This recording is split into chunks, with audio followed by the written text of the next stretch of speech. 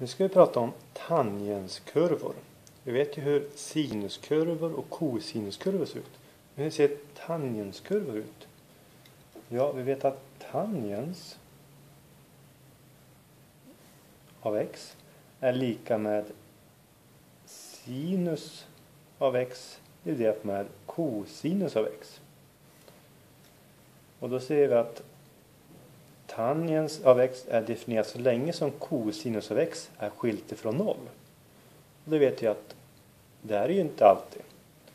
Vi har ju vissa tillfällen då kosinus x är noll. Och det innebär att tangens av x är ej definierad för de x-värden då kosinus av x är lika med noll.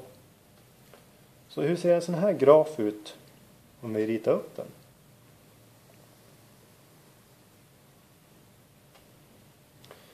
Här har vi då x-axeln och här har vi y-axeln och varje sån här röd kurva är då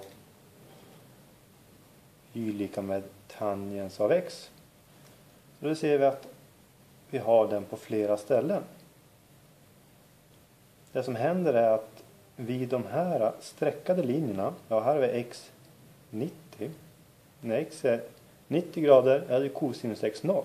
Här har vi då när tangensfunktionen inte är definierad. Så den kommer gå längs med den här eh, så kallade asymptoten. Men den kommer aldrig skära den utan den kommer bara närma sig hela tiden.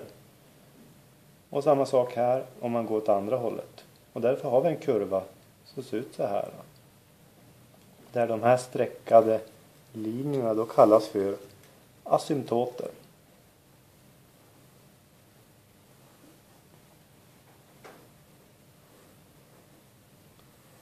Och det ser vi ju då att det händer för när kosinus x är lika med 0, det vill säga när x är 90, 180, 270 eller om vi vill åt andra hållet, x är negativt 90, negativt 180, negativt 270. Så det här är då en tangenskurva. Så nu vet vi vad en tangenskurva är.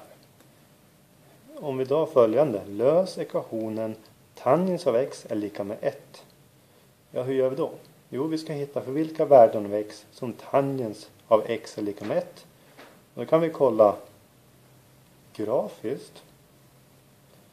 Då har vi ritat upp funktionen tangens av x. Ja, det är de här röda kurvorna. Det är tangens av x. Och vi ska kolla när det är lika med 1, det vill säga y är lika med 1. Det är en blå. Så där de här kurvorna skär varandra exempelvis här. Där är en lösning. Och då kan vi se att här har vi en lösning när x är 45 grader.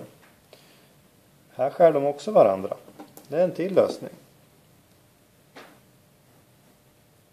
Och här har vi då 225 grader eftersom det är 45 grader mellan varje ruta och här har vi 180.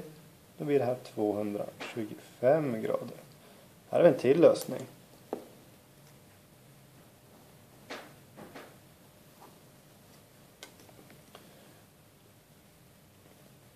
Och vad är vi på då? Jo, det är vi på 300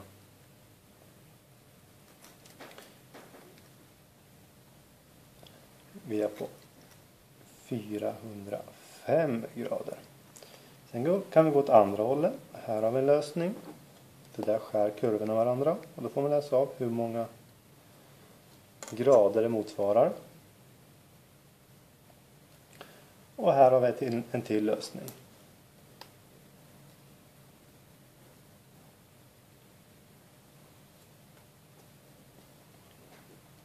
Och då får man då se hur mycket det är. Och här har vi då att det är 180 här men då är det 45 grader tidigare det vill säga vi ligger på 135 grader.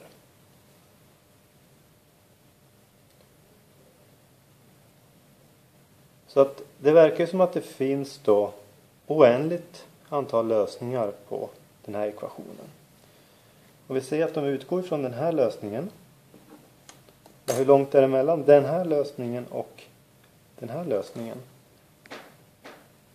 Och då vill vi mäta avståndet i x-led. Ja, om vi går från 45 till 225. Då har vi gått 180 grader.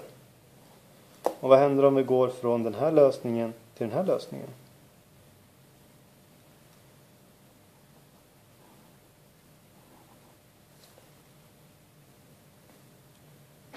Då går vi från 225 till 405. Ja, det är också 180 grader. Så vi går, om vi går 180 grader från varje lösning då kommer vi tillbaka till samma värde. Och det beror på att tangens av x den har då perioden 180 grader. Så även om vi går åt andra hållet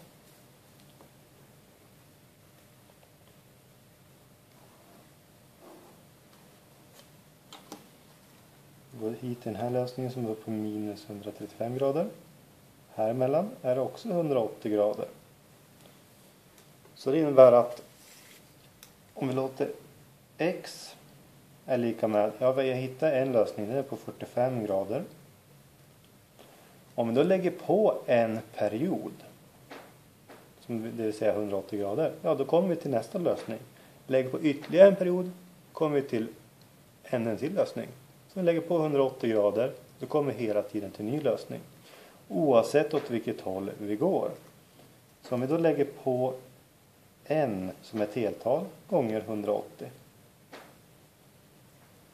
Då kommer vi då till en samma lösning.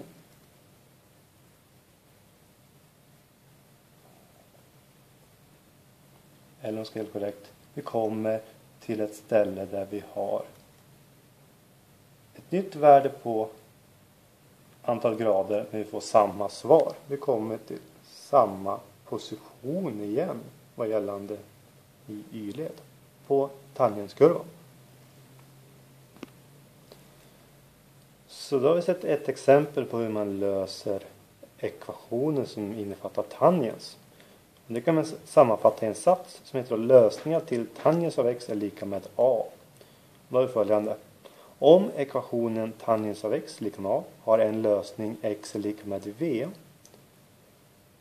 kan samtliga lösningar skrivas x är lika med v, det vill säga den lösning vi hittar, plus n gånger 180. Där n är ett heltal. Så det kan vi alltså bestämma samtliga lösningar. Och att vi har 180 beror på att en tangenskurva har perioden 180 grader. Vi tar ett exempel på det här. Lös ekvationen 2 gånger tangens av x är lika med 3. Svara med en decimal. Men det första vi vill göra är att, att se till att vi får det på den här formen. Det vill säga enbart tangens av x på ena sidan. Nu har vi 2 gånger tangens av x. Då börjar vi med att dividera med 2 på båda sidorna. Då tangens av är lika med 3 halva. Sen bestämmer vi då en lösning genom att vi tar tangens invers av 3 halva. Och gör vi det så får vi då ungefär 56,3 grader. Om vi svarar med en decimal. Och sen får vi lägga på en gånger 180 grader för att få samtliga lösningar. Vi kan ta ett till exempel. Lös ekvationen 5 gånger tangens av 2x är lika med negativt 8. Svara med en decimal. Och det första vi vill är förstås att få enbart tangens av 2x på ena sidan. Då vill vi bort 5. Vi börjar alltså att dividera båda sidorna med 5. Så jag får tangens av 2x är lika med negativt 8 dividerat med 5. Sen får vi lösa ut den här vinkeln. 2x är då ungefär, och så om vi tar tangens invers av minus 8, minus 8 dividerat med 5 så får vi det till negativt 58 grader.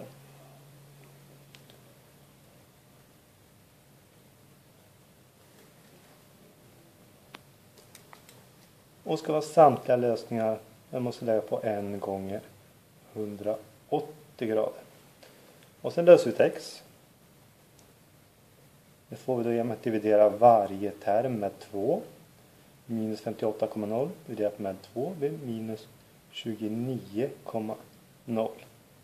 Plus 1 gånger 180 dividerat med 2 det blir 90 grader. Om vi inte vill ha negativt antal grader här då kan vi gå en period. Det vill säga vi lägger på 90 grader. Då kommer vi ändå få samma värde på den här ekvationen. Om vi lägger på 90 grader då blir det då ungefär 61 grader plus 1 gånger 90. Så man kan antingen svara med negativt antal grader eller så går man en period för att få det till positivt antal grader. Vi tar ett till exempel. Lös ekvationen 2 gånger sinus x är lika med 5 gånger cosinus x. Svara med en decimal. Okej, okay, hur gör vi nu? Vi har ju ingen tangens här.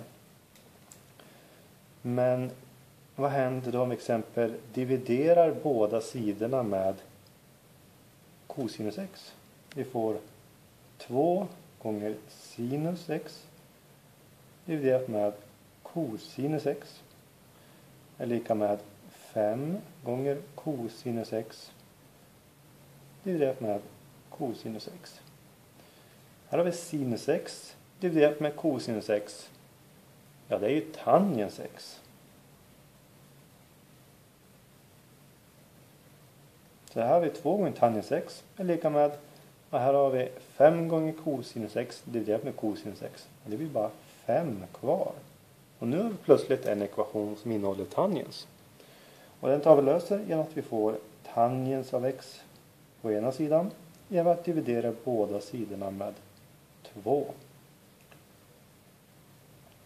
Och sen tar vi ut vad x är genom att vi tar tangens invers av den här kvoten, 5 dividerat med 2. Får det till ungefär 68,2 grader.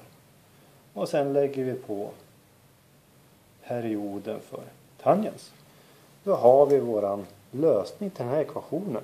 Även fast den inte innefattade något tangens så kunde vi använda oss av den genom att tangens är sinus x dividerat med cosinus x.